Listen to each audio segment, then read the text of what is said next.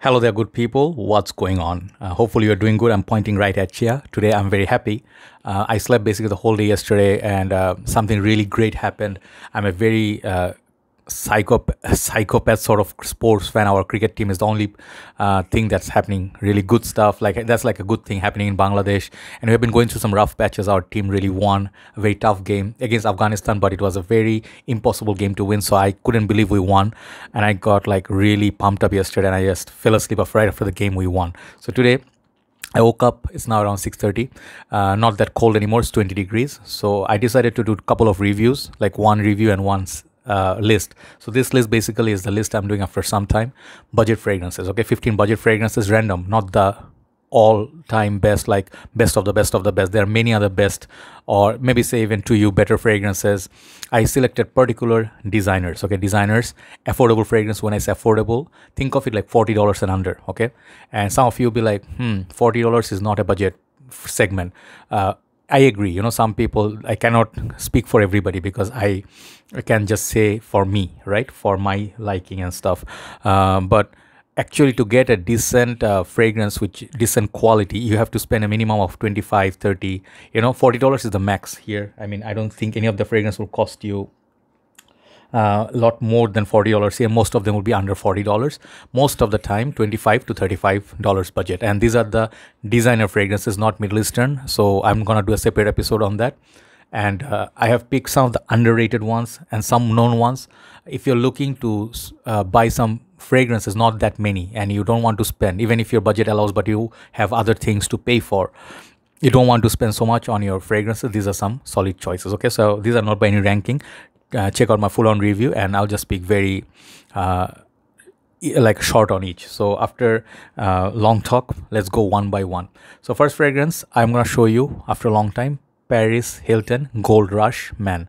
This looks like a budget bottle, I know, and it's uh, some people would say this actually looks very nice. This is very popular. This house is very popular. I want to get Paris Hilton for men, but I couldn't find it anywhere. That's discontinued, supposedly very hard to find, but her perfumes are very, very good. Uh, most of the Paris Hilton that I reviewed, they all smell decent. And they are very affordable $25 budget. You can buy these. This smells so good. This smells spicy sweet sexy and uh, you can go liberal with the sprays. This smells so good man. My i mean like if you like fragrances just in short like fragrance like bad boy you know by Carolina Herrera or something like stronger with you. Armani's code you know a little bit sweet sexy spicy um, like you know flirty fragrance. You can try this. Very fruity too. Up top very sweet perfume with great longevity. Gold rush man by paris hilton first one. Second one i'm going to show you is from house of uh, david beckham. And i haven't shown this for a very long time and i just have a lot of memories with it. This is called david beckham instinct okay?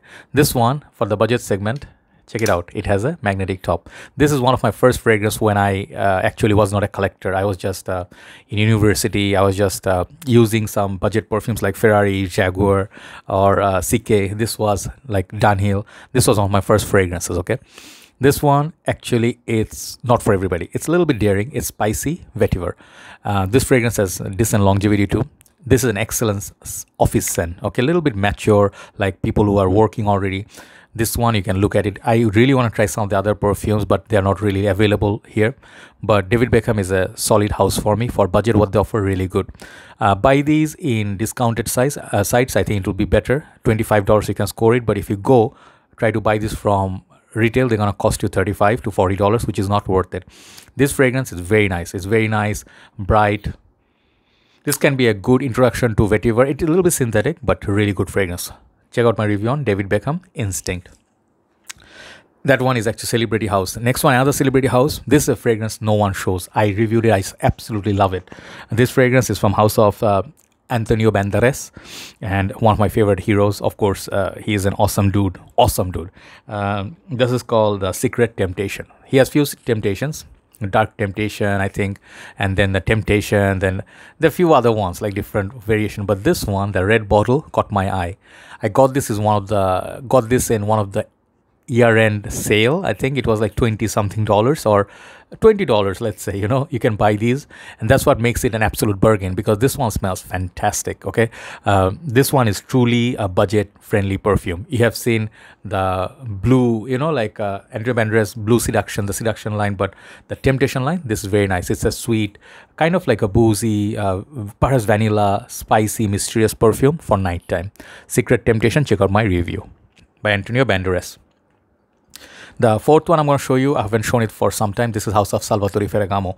And this one was basically uh, brought in the under limelight by Max Forte, and I'm really happy I have it. So this is called Salvatore Ferragamo Oud. Okay, I think uh, something like I follow the whole name. I think Salvatore Ferragamo Oud for men or something like. I'll write down the names. One of the most beautiful twisty bottles. Look at that bottle. It, it doesn't look like it looks like something gone wrong, right? It's a beautiful structure, and I believe they had Satil and some other perfumes in this line. Uh, this one has the, they have this bottle bottle design.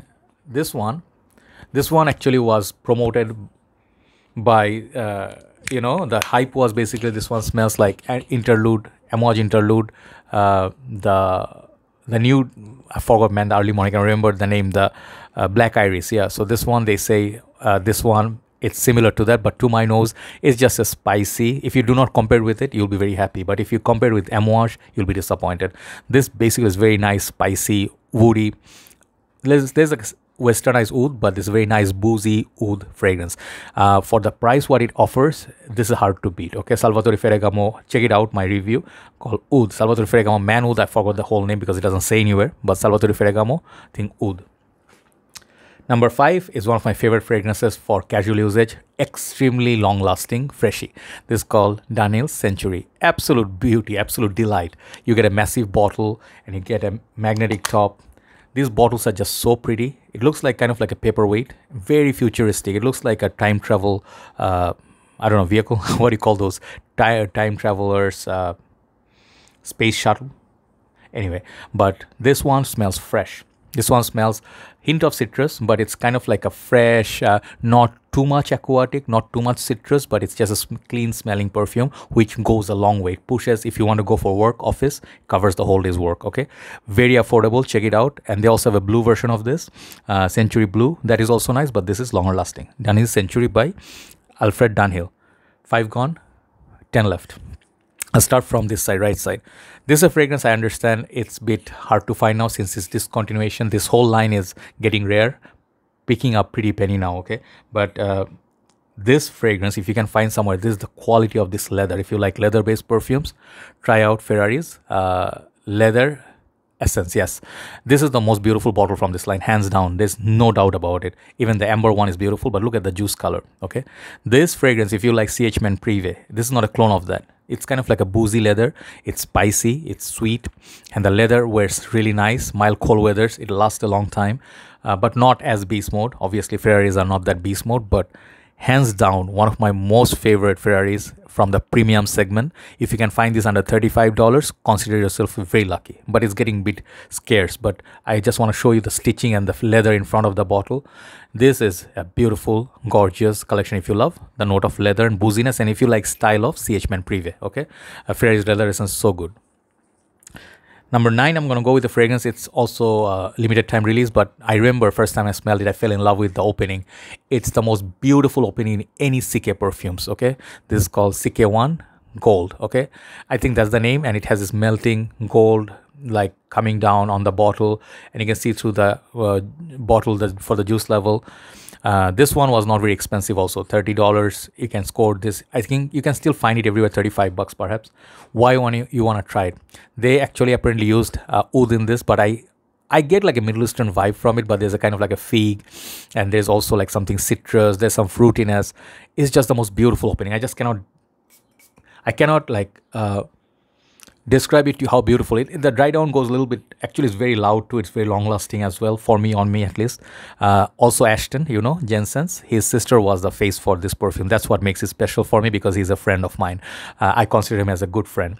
So ashton when he came out in the open i've seen him from the beginning when he started reviewing from the beginning i know his channel and i talked to him since then and he's such a nice guy so that one basically it, this fragrance is very special just check out this fragrance there's no harm in it if you can find it somewhere okay ck1 gold Number eight is a fragrance recent times I bought, and I just absolutely think this is one of the best perfumes I bought in recent times, regardless of its price tag. From House of Car Company manufacturer Jaguar. It's called Jaguar for Men Oud. If you actually love, very simple, Gucci Pour Homme 1 or Bentley for Men Absolute, both are gone now, both are discontinued. But you want to get a taste of that spicy pens- pencil shaving, uh, very expensive cream of a car interior or luxury segment, or let's say Jaguar Roadster. This is the smell. Expensive smelling uh, furnitures, okay?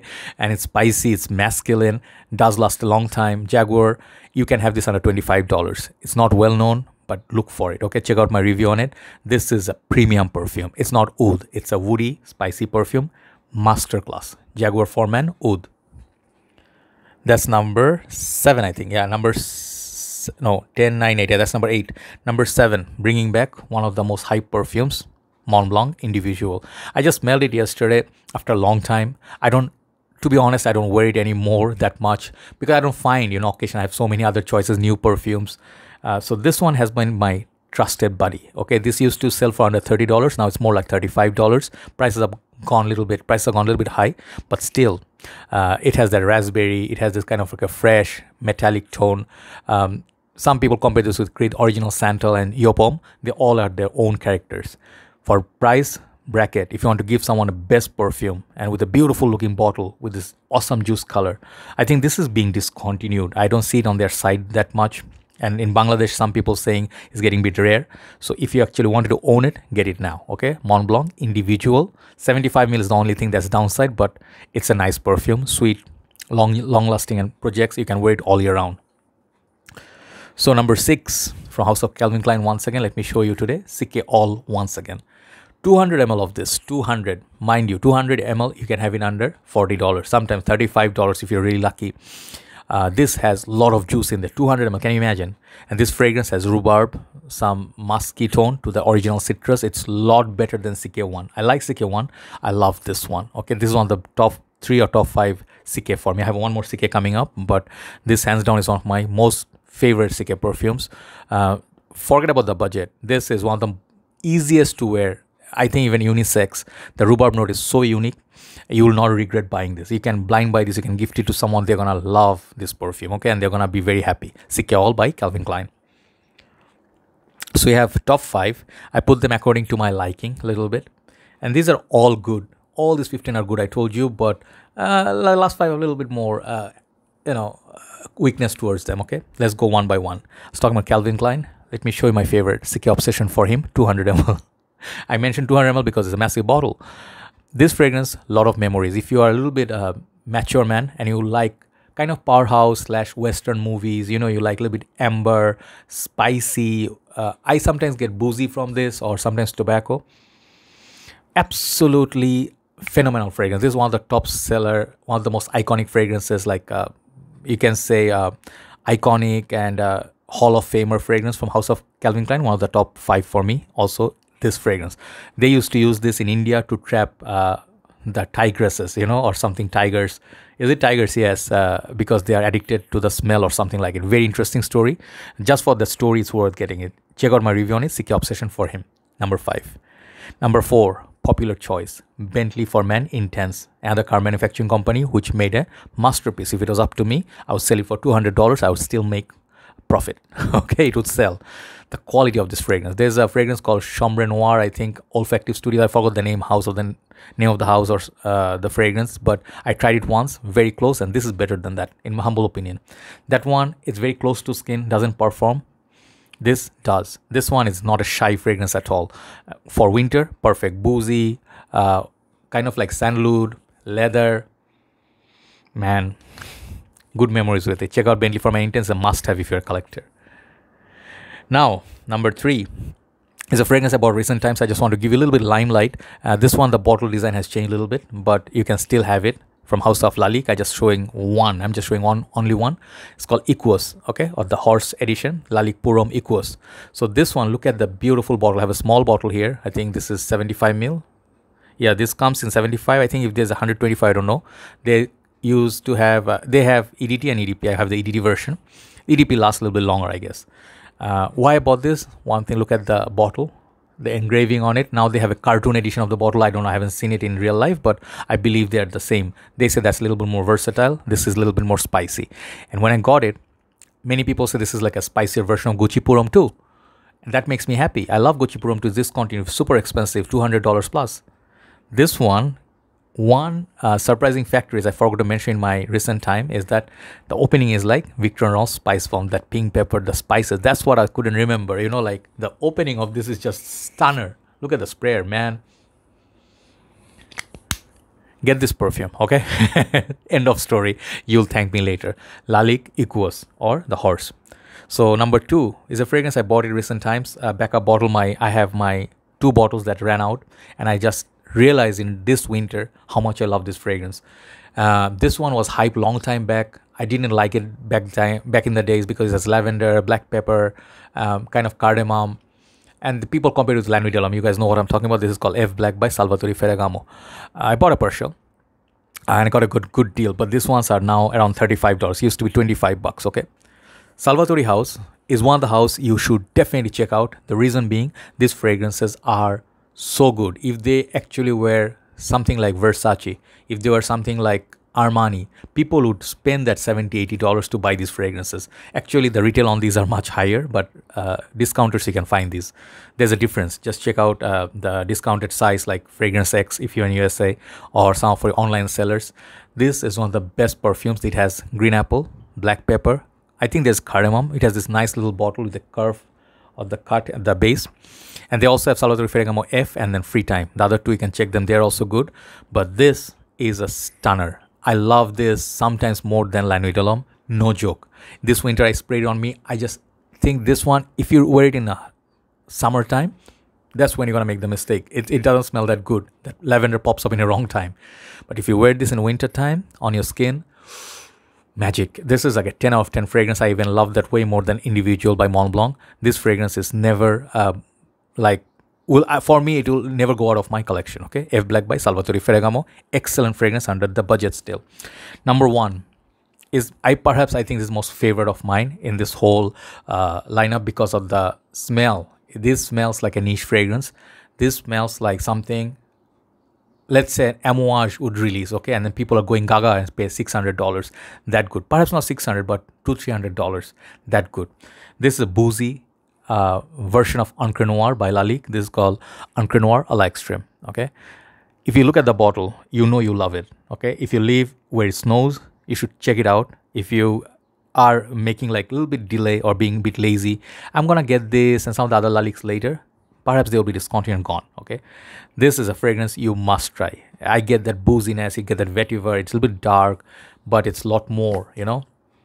It's just so much more of a fragrance. It's not for everybody try it before you buy It. definitely do not blind buy but uh, if your nose have matured you have been in the game for two years you have to get this line the sport original noir and this even ombre noir these are fragrances every single penny you like spend you get double the value okay so number one today is a la extreme by Encre Noire uh, this is just Lalique's one of the masterpiece. Okay, that's my number one. Thanks very much for watching. Which are your favorite budget fragrances? And if you feel like this budget is a little bit higher than your uh, what you define as budget. I'm sorry about that, but I feel you spend a little bit more, you get a little bit more quality. This has been uh, proven in past. Thanks for watching. I think I'll go upload this. Have a nice day. See you soon. Stay safe. Bye bye.